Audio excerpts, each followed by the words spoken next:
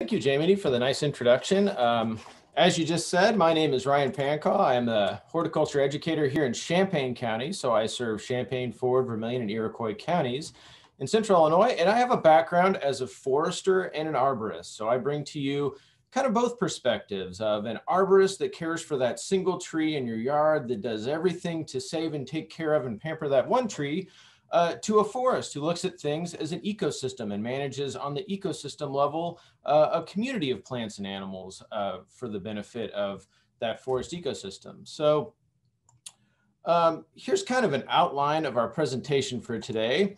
Um, and, you know, I, I bring to you, uh, this has been a topic of interest for me in researching and understanding and learning, learning more about, uh, just because in the past in coursework, in my uh, career, I've heard a lot about these historic pest outbreaks that, you know, have wiped out entire species across our continent. And now uh, in this modern day and age, we've seen emerald ash borer kind of emerge as that, you know, uh, kind of our modern day version of one of these pests. And it's just been interesting to me to kind of study the past, look at the present, and, and, draw some parallels and some conclusions about how these pests have spread, how they got here, what can we learn from this uh, to protect ourselves in the future. So here's kind of the outline of what we'll cover today. Um, you know, I, I, will go through some of these historic pest outbreaks all the way up to emerald ash borer, and then I'd like to look at uh, just a few of these newer outbreaks that have kind of caught my attention in the last year or so. Uh, so let's start with a, a, discussion of American chestnut.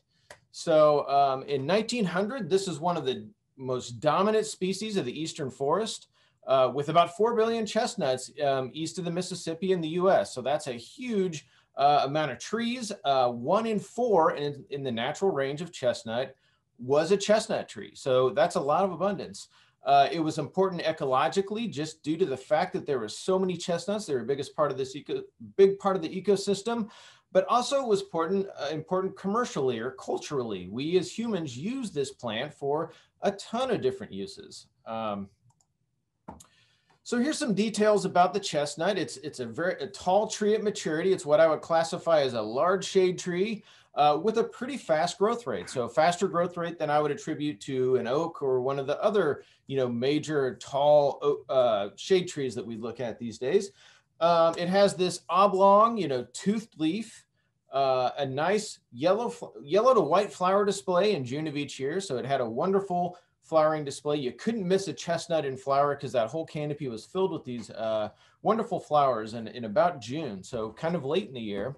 Um, and of course, its its fruit is un, unmistakable with its spiny husk and the, the nut that's in, held inside that. Uh, a lot of us have seen these and would recognize these. So that's kind of a description of the chestnut as a single tree. Here's the chestnut's range. So you can see it, it took a vast chunk of the eastern forest and, and really dominated that area as one of the dominant trees in the overstory.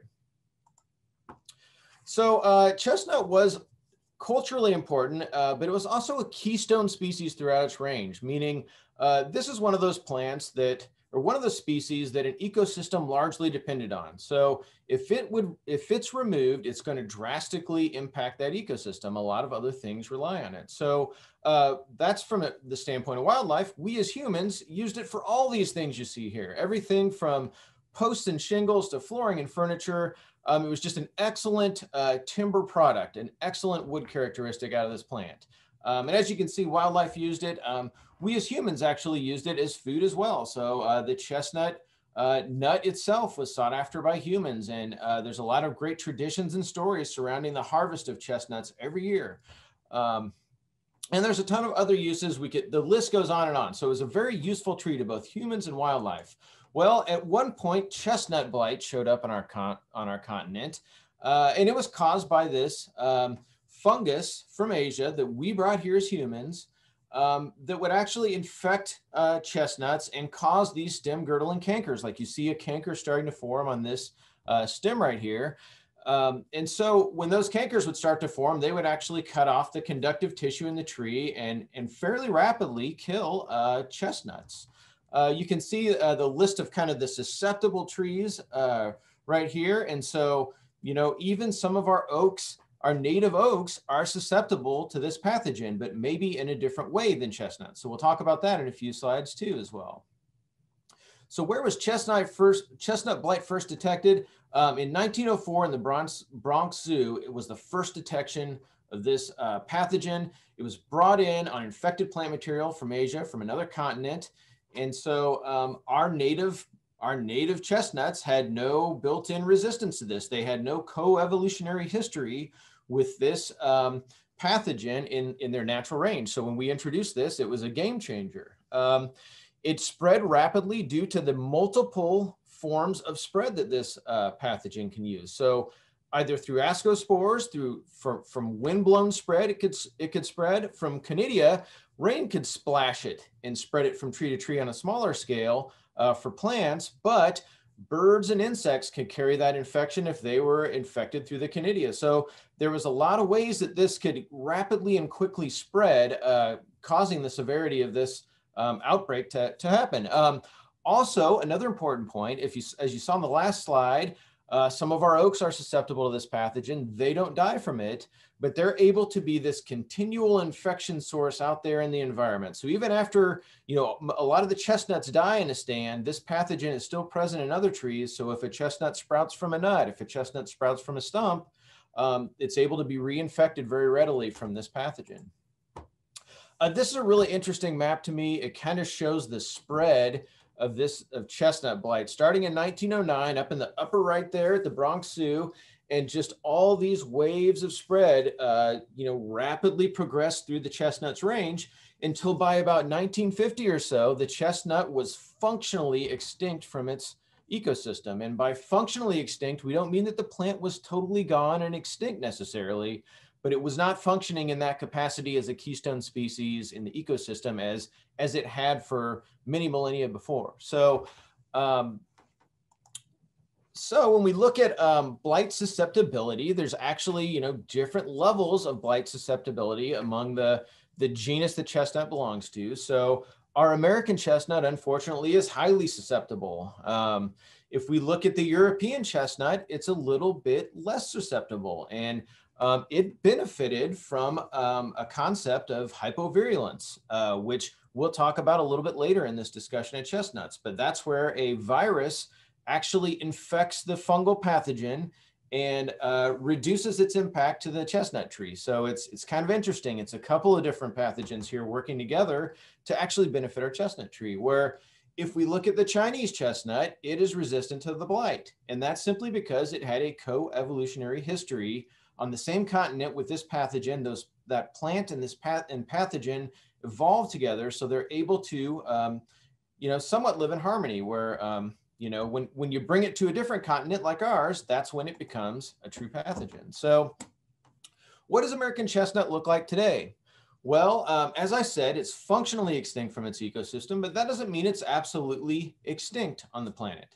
Uh, the actual root systems of mature chestnuts do have blight resistance. So they're able to live under the ground and function and send up uh, some stump sprouts. On one of my slides earlier, I, it, it, mentioned that uh, this plant readily stump sprouts. So that means if you cut a chestnut tree down, it readily will sprout from the stump and grow um, another tree from that. A lot of our other, a lot of other native trees have that ability too. So um, so uh, it does exist today as stump sprouts produced from these viable root systems that can stay alive in forests. But unfortunately, as soon as those stump sprouts get very large, they get infected and succumb.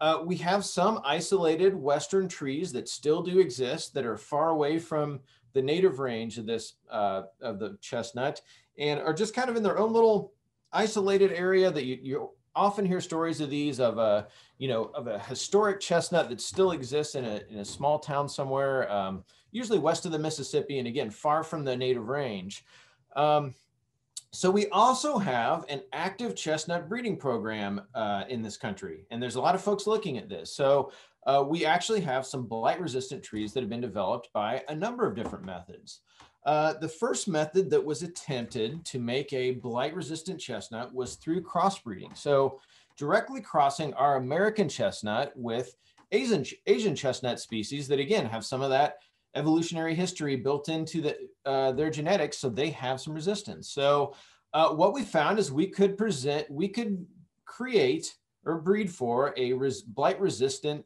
uh, chestnut species when we cross these two.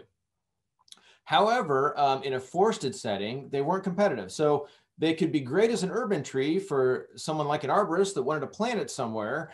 But when we try as a forester, if you try to put these out into the landscape and reestablish chestnut and that all that ecosystem function it provided, uh, they just weren't able to, to do it. So uh, in about the around the 80s to now, a lot of folks have looked at looked at this concept of back crossing, and that's where we take an American chestnut and Chinese chestnut cross, and then we back cross that with just American chestnut. So uh, what we're hoping, what folks hope to do in this process is to kind of dilute the American, the Chinese genes with more of the American genes, but just enough American genes that we don't lose the blight resistance where we hold on to that, but we still capture enough of those American genes that hopefully this plant could, you know, function in an ecosystem like we would normally see. So I mentioned this a little bit earlier, this concept of hypovirulence. Um, and this is where a virus actually infects the fungus that is the pathogen in the, in the chestnut. So, um, you know, it naturally occurred in European chestnut, which is where we first observed this eh, on Earth. Um, and it actually has allowed the European chestnut to slowly recover from the blight because it's as it's spread and been passed from chestnut to chestnut, again, a, a second, another pathogen has came in here and, and acted upon the first pathogen. So really, really fascinating. Um, there's been a little bit of success in Lower Peninsula, Michigan, uh, observing some naturally occurring hypovirulence here in, in the States, but uh, not enough that it just doesn't really happen on our continent well enough to really control for that. But uh, here's a picture of the Arner tree from up in Canada, which is famous for this on, on our continent, having some of this hypovirulence, uh, where it actually has succumbed like multiple bouts with uh, chestnut blight, uh, and because the again the blight pathogen has been weakened by this virus. Uh, but it's not on our, on our continent. This has not been proven successful at the ecological level. So we've not we've not achieved what the um, European chestnut has achieved in recovery, um, where this you know it, it's just not as effective here. We can use this actually as a treatment from the standpoint of an arborist to treat an individual canker on an individual tree, and it's, it's effective that way. But it just isn't able to spread throughout an ecosystem on North America and really provide complete control like that. We as humans have to actually add that to the tree to get that um, res that uh, resistance to the to the fun to the fungus. Uh, so something that rec very recently has come about in trying to address this issue of resistance is biotechnology or genetic modification. So scientists have taken the o, the OXO gene from wheat plants and inserted that into chestnut uh, genetics, which has created blight resistant trees. So um, essentially what happens with chestnut blight is the fungus produces um, oxalic acid, you know, so that's that's a common uh, part of many plant pathogens, and it's used to attack the host plant, to break down tissue, to get into the plant, where this OXO gene uh, codes for oxalate oxidase, which actually is um, an enzyme that breaks down that oxalic acid in the plant. So when we add this gene from wheat and many other um, plants that naturally have this gene to the chestnut genome, we get a complete and utter blight resistance. So it's really a fascinating point um, aspect of, of genetic modification for a, a, forest plant. We don't really see a lot of that in forestry and other applications, the use of genetically modified organisms. We see that um, across the board in other areas of agriculture, but not so much in forestry. So uh, currently, this is awaiting approval in the US from the EPA and the FDA. Um, there was a public comment period that I think just ended back in October. So that's a period where this is under review. Um, whether this plant could be released for um, restoration purposes is kind of the point. Uh, folks would like to restore chestnut across its across its range with uh, this new biotechnology that's that's resistant to the blight. So it, it'll be interesting to see how this progresses. This is the only path that I can see that we have for um, potentially having um, a blight resistant chestnut in eastern forests. So um, it will be interesting to see what develops with this over the coming years. So uh, from the arborist perspective, I always go back to this of, you know, how we've talked about this plant as a forested species. We've talked about it as on the ecological level.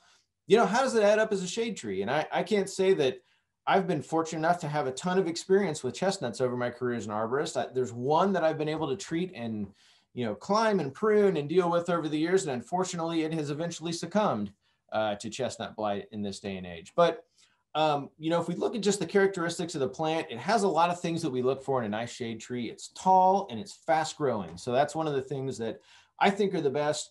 Uh, has a nice flowering display and it's actually a pretty late flower display. You know, I noted earlier it was in June.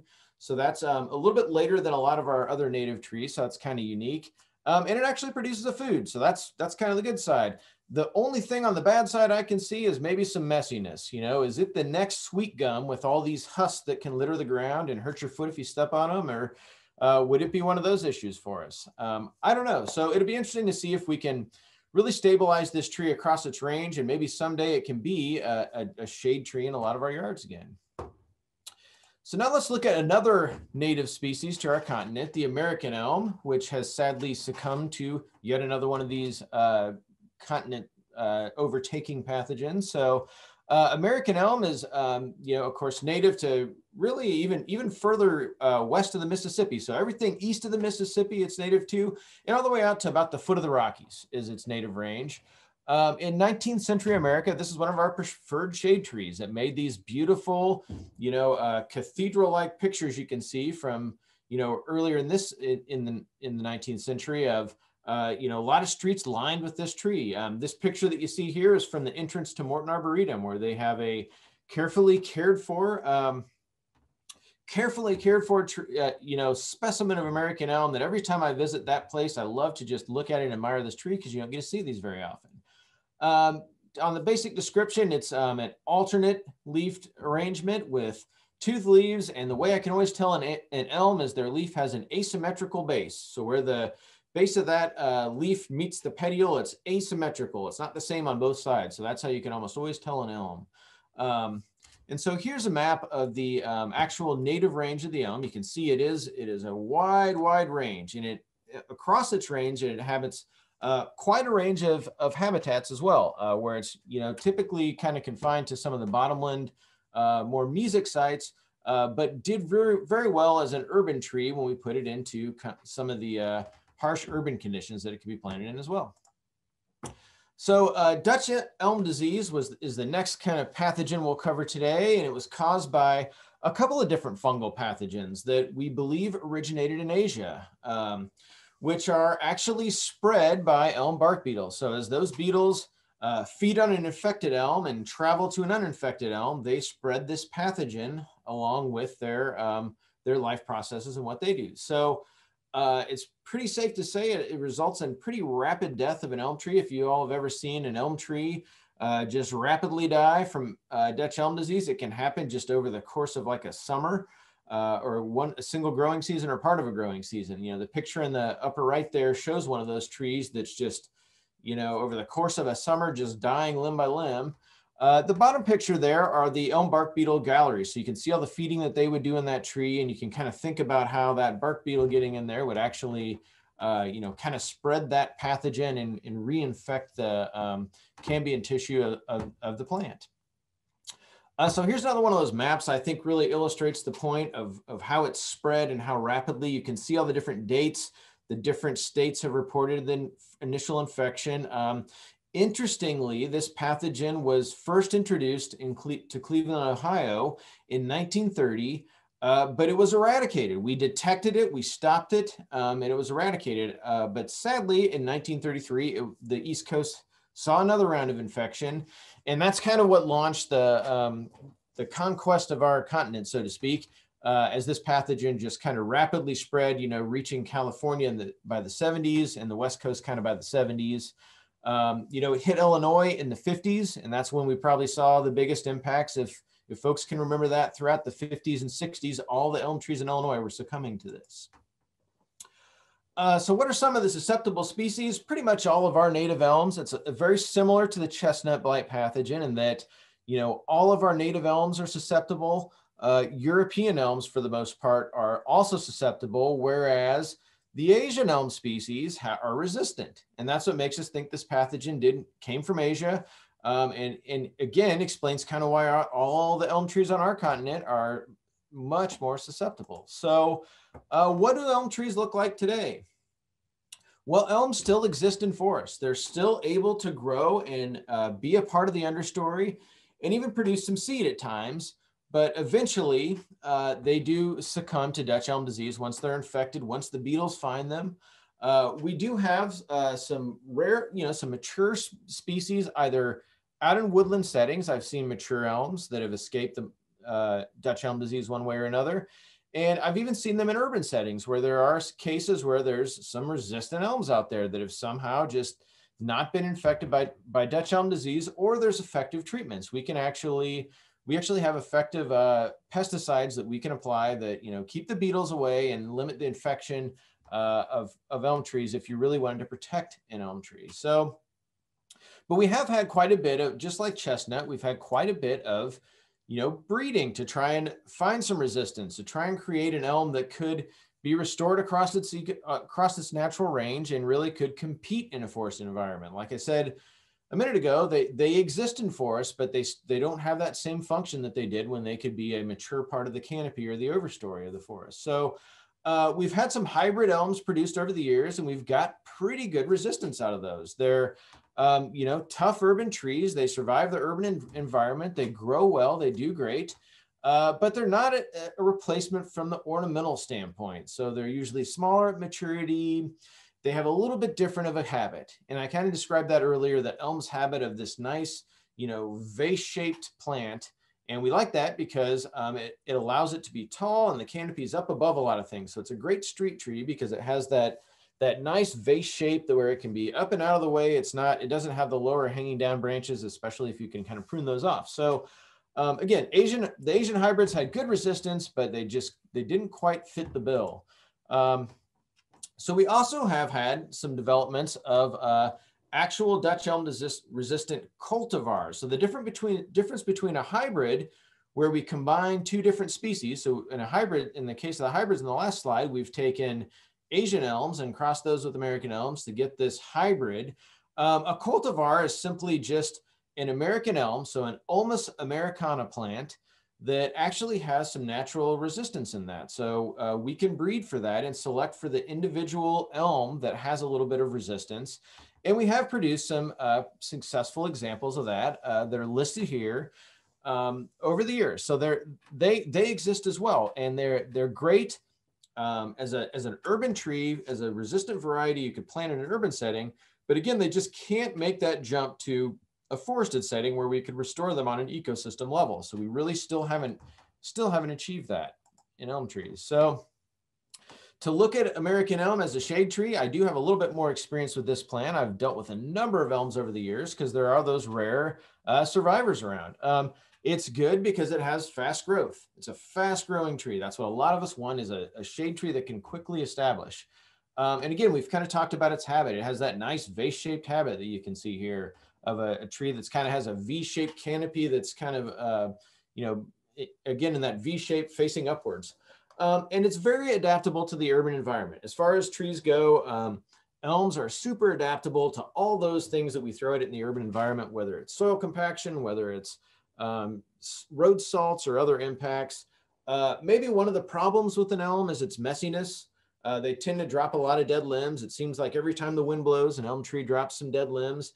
And also, along with that V-shaped arching habit, that creates a lot of narrow branch unions on elm trees. So um, they suffer from a, in, in narrow branch unions. We know from research and from observation that they are less uh, structurally sound than a nice wide open kind of U-shaped branch union that would have more structural stability. So uh, those are some of the drawbacks. Uh, so now let's move to kind of our modern day version of a chestnut blight or a Dutch elm disease, which is the emerald ash borer. So as I mentioned earlier, it's kind of, it's been fascinating for me to actually observe. I mean, it's very sad and um, it's very sad to see the spread of this pathogen, but uh, this insect has just, it's went from, you know, initial infection in Detroit in 2002 uh, to you know the range that you see now on this map from I guess that's from February of 2020. Uh, I did look at the November map last night, realizing that I had the February map in here, and it really hasn't changed a heck of a lot. Uh, there's a little bit of change in Iowa and, and Missouri there on that actual the the western edge of it, but not too much uh, to date. Um, but we've seen this uh, pathogen rapidly spread, and it's just been interesting to observe the public's reaction, the you know the message that folks have sent out about it. Uh, you know, don't spread firewood. I think is the big message we should associate with emerald ash borer, but um, it really has impacted a lot of states. That's it's up to 35 U.S. states and growing um, and really not not seeing much of a, a, a stop in, um, uh, in, in sight for this pathogen. So uh, how does it kill trees? Well, it's a little bit different than the past two pathogens we talked about. So with both chestnut blight and Dutch elm disease, we saw two different fungal pathogens. In the case of chestnut blight, it was really those stem girdling cankers that caused the mortality of the tree, where whereas in Dutch elm disease, we saw death uh, of, of elm trees because the tree's own reaction to that pathogen in its conductive tissue uh, caused a reaction that actually clogged the uh, conductive tissue of the tree and caused death that way. In this case, it's, it's a little bit similar to Dutch elm disease that uh, the larvae actually feed on that conductive tissue, which is just right inside the dark, inside the bark. So the cambium layer is what we refer to that as in, uh, in trees. And that's uh, if you want to look at it this way, maybe the veins and arteries of the tree, they're just right inside the bark there. They're nutrient rich. These larvae just love them when they get in there and can feed on them. So, um, so a little different in that it's it's not a, a, a, pathogen that's spreading through the tree as those as a, fun, a fungus would, but um, it's this insect larva that is spread spread through the tree and um, in in killing that cambium area. So one thing to note is that it does kill st both stressed and healthy ash trees. And so that's of note because a lot of times pathogens tend to uh, focus on the more stressed trees and allow healthy trees to persist where with emerald ash borer, it doesn't matter. They tend to, you know, take a healthy or non-healthy tree. So how can you identify emerald ash borer? Well, I think the main way that we identify it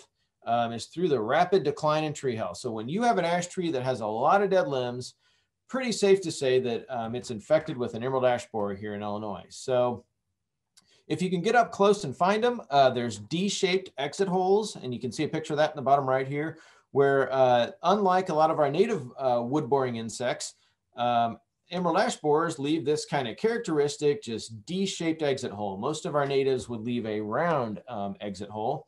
Um, another sign is woodpecker damage. And you see um, at the left there, uh, a, a, woodpecker damaged bark that has what we refer to as blonding, where the woodpecker, there's been a lot of woodpecker activity there and they've knocked off some pieces and you can see some lower bark and it creates that lighter color. So that's pretty distinctive if you enter a woodland that has a lot of ash and a lot of emerald ash borer infection. You can see this on a lot of those trees right away. Uh, dead trees usually stick out also, but um, we do see like a lot of woodpecker activity. They absolutely love these larvae and they're they're out there eating them. And actually that's one of our main natural controls is um, just woodpecker um, predation of the, of the larva. So how is this pathogen spread? Uh, well, there's been different numbers over the years published in research of the actual natural rate of dispersion. So they, these guys can fly, so they can naturally disperse.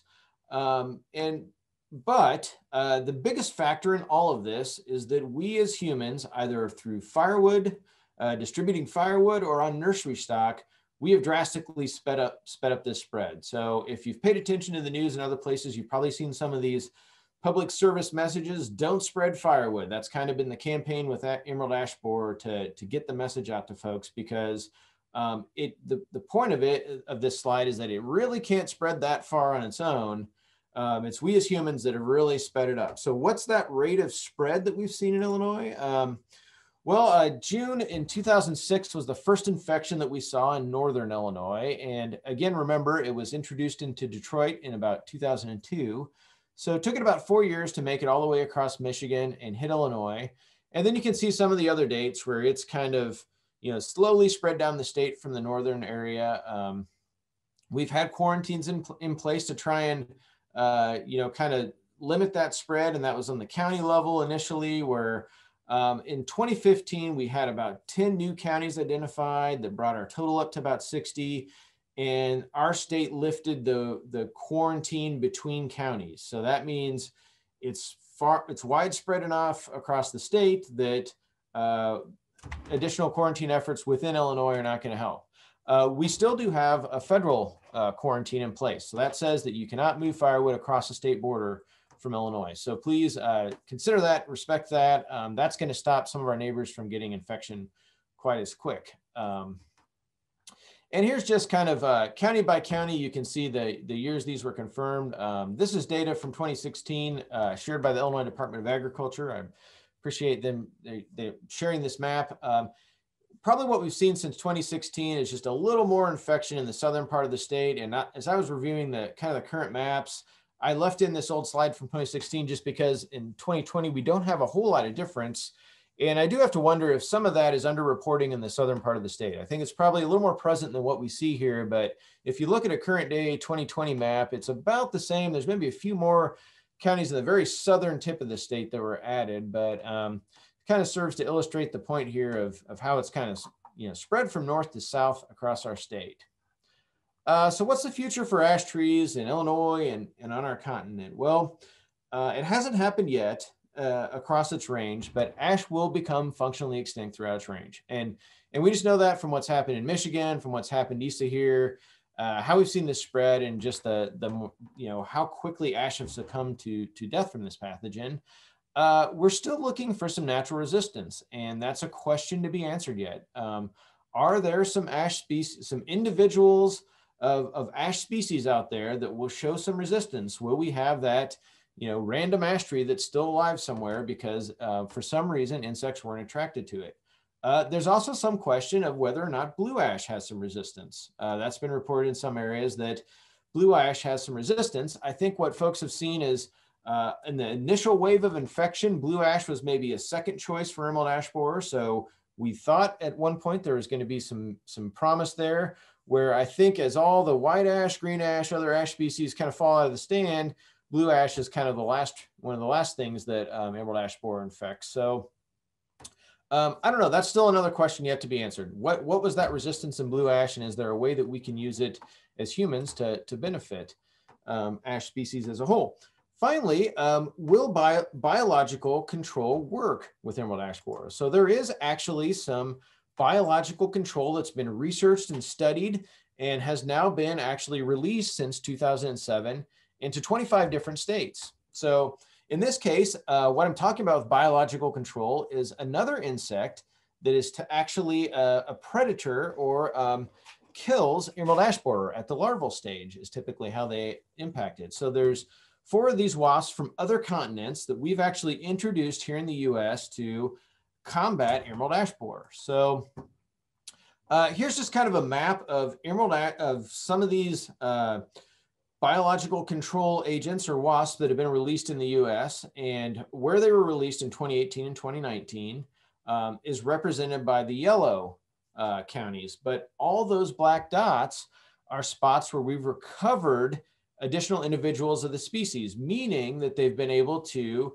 survive in the wild. We've introduced them, they've survived, we've recaptured them the next year. So that's an important fact here that we have brought, again, we brought another um, insect from another continent here to help control this. And there's no guarantee that it'll be able to survive and exist in our ecosystem here. So here's kind of both like the both the 2020 Emerald Ash Borer map and that uh, 2019 biocontrol map kind of laid next to each other. So you can see where some of those introductions have happened. Um, and so that's something that folks are closely, closely following, um, uh, whether or not that biological control will work. And I will um, return to that in a second. Uh, but anyway, so what kind of resistance do we see in our native ash trees? Um, some of the younger native ash trees actually do show some resistance. Um, so we do see younger ash trees in stands right now, uh, regardless of whether or not emerald ash borer is here.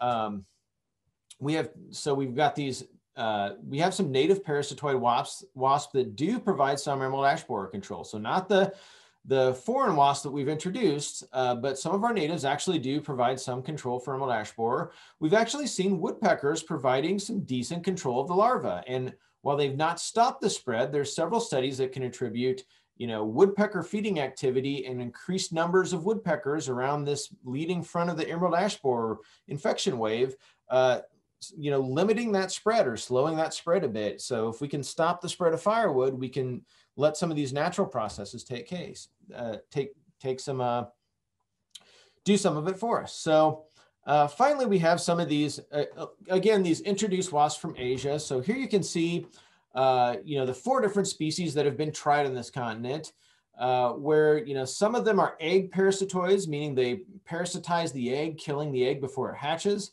Some are, uh, par are parasites to the larval stage of emerald ash borer. So you can see where, um, you know, a few of these are at the larval stage, and I guess it's just one that's from the egg stage. Uh, three of them are from China and one is from Russia. So they're all from Asia, but from different places.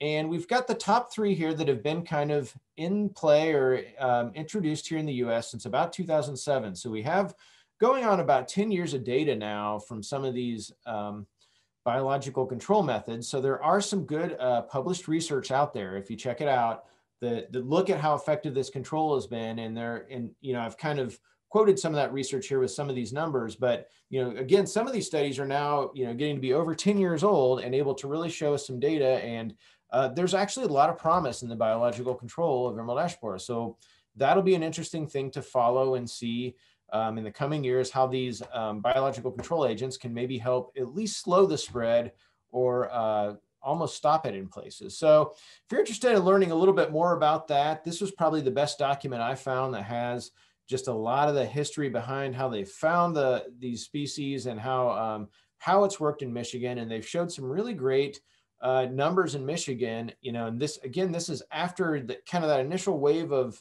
ash borer came through. They introduced these, and they're showing some really good um, control after the initial wave came through. And one of the things that these folks are really concerned with is the fact that um, once all of our native or the mature ash trees die, we don't have a seed source. So if there's a way that we can keep some of these younger trees healthy, and if these um, you know parasitoid wasps can do that, uh, that's going to be a great way to keep some ash seed in the seed bank and in the understory and just keep ash there until if there's ever some way that we could find a solution to this problem, we could introduce that. So um, anyway, if you're interested in more about that, um, check out that document I cited there and, and there's some great um, info in there. Uh, so now let's turn to just a couple of the newer threats and look at how they compare and contrast to some of these historic threats. So uh, laurel blight is one that recently um, has kind of been in the news, um, approaching our region of the country, and so has drawn my attention. And and and um, I've started to kind of research it and look at how it works. Uh, so it's first detected in 2003 in Georgia on red bay trees. So red bays are um, you know 30 to 60 foot tall, broadleafed evergreen trees that um, are not native to our area, but um, climatic zones south of us. They they're not winter hardy enough to grow in our area, but that's kind of where it started. Uh, it's caused by a previously unknown fungal pathogen again, assumed to be from Asia.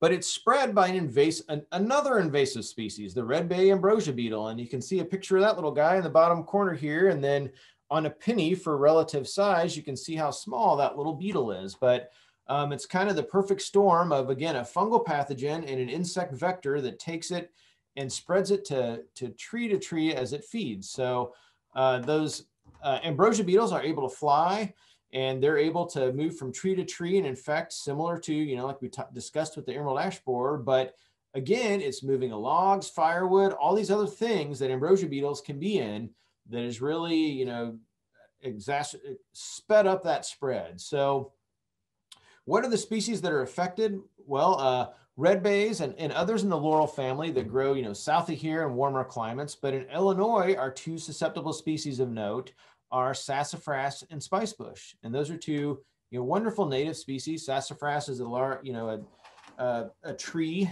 uh, sized plant. So uh, probably, you know, 60 to 70 feet tall at maturity um, and has some some unique and interesting characteristics. Spicebush, shade tolerant understory shrub that um, is just, it's one of my favorites for planting in a shade garden in, um, in an urban setting, as well as um, it's one that for many years I've managed for in the understory of woodlands across Illinois. So it's a great uh, native shrub, both of which are susceptible to this pathogen. So Uh, where's laurel, laurel wilt currently at? Well, you can see it's focused around, you know, kind of the red bays range down there.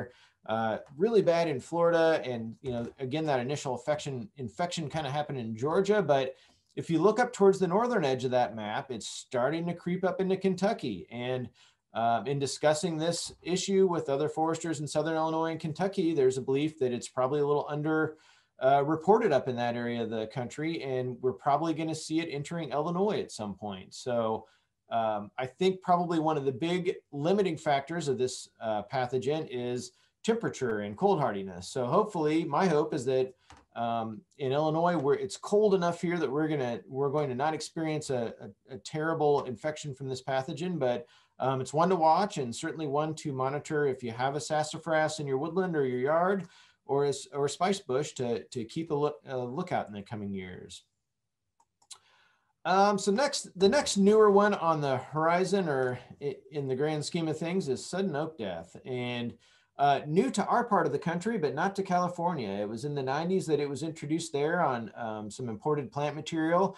And it really has just devastated some of the coastal oak ecosystems in California. And there's really, if you really read about this, it's a super scary pathogen and how quickly um, it can it can spread, and um, just the wide range of host species that it has. Over 100 host species globally. Um, so in woody plants, Phytophthora ramorum, the pathogen we're talking about here, um, causes two different diseases. So there's a difference in this case between P. ramorum, the pathogen we're talking about, and then the diseases that it produces. So ramorum blight is the first that it produces in other plants, and that's actually a foliar, foliar disease in many species. So it affects the leaves. It's often not lethal to the plant. Uh, it's simply a leaf infection that really makes the plant not look great. Uh, but a lot of plants can uh, overcome it. Whereas sudden oak death is the other disease that this same pathogen P. ramorum creates um, that is a fatal disease of oaks. Um, you know, and, and similar to chestnut blight through um, trunk girdling uh, cankers is how it actually kills the, the oak trees. So um, really rapid death. Again, that's to me the scariest thing about this in just a few weeks to a few years. Um, and it's spread by spores from infected plants. So it's windblown. It, it, can be spread by animals coming in contact with it. It's, it's in the environment. It's easily spread. Um, and one of the things to note with this is that with its large, wide range of host species, um, there's a lot of just infection source in the ecosystem. So there's a lot of plants that can live with this pathogen and not succumb to it. Maybe they just have ramorum blight. Uh, but they're infecting the oaks that are right next to them, and they serve as this just reinfection source out there. Even after oaks perish, they're still there, still able to reinfect uh, the rest of the ecosystem. So here's kind of a little bit more of uh, the details of ramorum blight versus sudden, sudden oak death. So again, ramorum blight, just a foliar disease, and you can see on this uh, bay laurel here, you know, the dead tips that it causes, it kind of kills some leaves. Uh, whereas again, sudden oak death is this uh, stem girdling canker, and you can see kind of an oozing canker there. Um, a picture from California of what the, the actual cankers look like. So this is actually a pathogen that we here in Illinois have had a brush with back in May of 2019. Um, the pathogen that causes sudden oak death was found in Illinois. So that's an important part of these headlines. I had a lot of folks contact me uh, that saw the the media um, kind of you know, uh, reporting that sudden oak death was in Illinois. And then if you Google sudden oak death and look at some scenes from California, it really looks like a, a, a grim uh, future for oaks in Illinois. Well, uh, we actually didn't have sudden oak death here. We what we found, what was found in Illinois and several other states, was uh, ramorum blight. So the foliar infection that this plant, that this pathogen causes. So that was de detected on uh, nursery stock in Illinois and several other states. I think there's up to about 18 different states um, across the Midwest that had infected plants delivered. Um, in Illinois, it was on rhododendrons and lilacs, and um, at nurseries is where this was found. So that that's kind of an important. There's some important points in this, and I think a lot of it got a lot of media coverage, and I think um, the media was kind of unclear in exactly what was going on here. So the main points on this are just that we did not have oak uh, sudden oak death on the ground in Illinois. Uh, we had ramorum blight, and we believe it to be, up to this point, confined to nurseries and, and places where plants were for sale. And it really speaks um, highly to our, um, our state and federal regulatory agencies that they were able to quickly and rapidly find um, infected plant materials and trace them to their source and eliminate, eliminate those materials before they were sold to the general public. So uh, there was a really rapid response there in May and June of 2019, and a lot of those plant materials were recalled from retail outlets and nurseries, and they were able to just exactly trace all this back to infected plant material from Oklahoma as one, one of the sources where it came from. So um, we believe it to be main uh, believe we believe it to be contained at this point, but it's still something for us to be aware of and keep on your mind. And if if anybody you know, or if you have a newly planted rhododendron or lilac that starts to show symptoms like you see here from the plant clinic photo, um, it's absolutely vital that you um, report that and, and make sure that folks, uh, that, that we get that reported to the Illinois Department of Agriculture and other folks that, that are watching for this. Uh, but to date, we don't think it's escaped on the landscape. And that would be the worst thing is if some of these infected plants were planted out into the landscape and um, they they're able to infect some other plants and we got an infection source of ramorum blight in the ecosystem that could eventually translate into sudden oak death. So um, for the moment we think we're safe but this is one to definitely watch and, and be aware of. And if you want more information I, I put a quick link in there go.illinois.edu slash ramorum where the plant clinic has some some wonderful information on this and what you need to know if you if you need to report it or think you may have an instance of it so to kind of conclude things, you know, what have we learned from these past, um, you know, outbreaks across our continent that have really impacted uh, forests um, here in North America? Well, I think a big lesson is don't move firewood. Any of these pathogens like the ambrosia beetle, the emerald ash borer, they're going to be present in that firewood most likely if it's the species they like. Um, and that's a way that we can just speed up beyond the natural dispersion of those insects, the spread. Um, I think another thing we've learned is not to necessarily cut down every tree. And that was a question I got in Southern Illinois as Emerald Ash Borer was approaching. And I was, I was a forester down there for many years before I came to Extension. Um, a lot of forested landowners wanted to cut down every ash tree right away as soon as they read in a single article about uh, Emerald Ash Borer. But uh, what we've learned in the case, I think Dutch elm disease has given us some great examples of resistant elms that still exist um, if we cut down every single species, every single tree, ash tree or elm tree, we may unknowingly take away some of that natural resistance there could have been. So that's something to think about on the bigger scale of managing a forested ecosystem. Maybe it's not a great idea to harvest every single ash tree out of there. Um, big lesson out of this is to plant a diversity of species. Um, in the case of um, Dutch elm disease, what we saw was a lot of communities that had nearly that had a large percent of their urban forest uh, comprised of elms.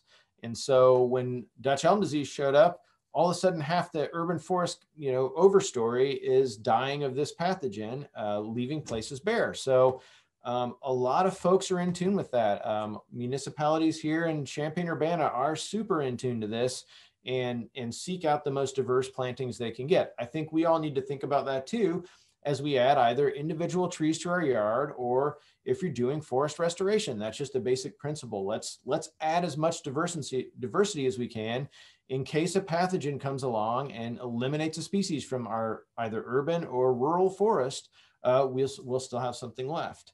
Um, international plant material is a common vector of this. Um, you know all of these uh, really bad uh, forest pathogens were brought from another continent. So maybe we need to think about how much we're intermixing biota across around the globe. And um, thankfully, uh, we do have very good regulatory regulations in place that track and monitor and limit this kind of spread. So it's not, you know, there's not like there's nothing being done in the US. We actually have a very good system for tracking all this and, and, and keeping track of it. So um, I think the final lesson to kind of learn is that we probably should expect future outbreaks. Um, Unfortunately, even with those really strong controls in place and great uh, regulation and tracking of everything, we still have things slipping by every year. And so um, just as homeowners, as uh, foresters or land managers, we need to realize that this is something we, that we need to be aware of. We need to be tracking these newer